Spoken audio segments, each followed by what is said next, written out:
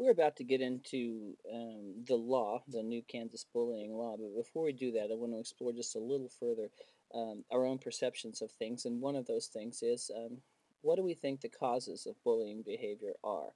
Uh, it seems like bullying's been around for a very long time, probably as long as there have been people, there have been some kinds of bullying.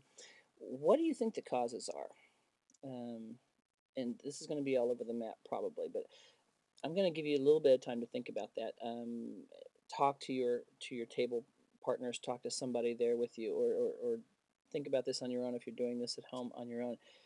Why do kids get bullied? Why do bullies emerge? Uh, where do bullies come from? Were they born bullies or did they learn to be bullies? Do certain people sort of bring bully behavior onto themselves by virtue of certain weaknesses or predispositions that sort of attract uh, abuse? And if so, you know, we're going to get into what we can do about that. But for now, what do we think causes bullying?